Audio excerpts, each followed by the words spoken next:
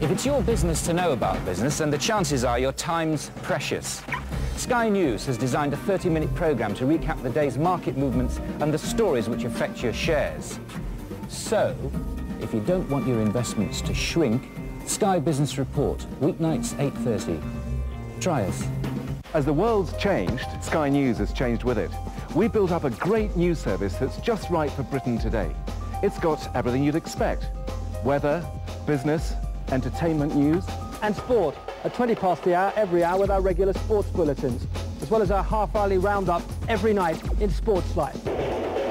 No one can match Sky for sport. We're on air constantly. We never have to get back to that film.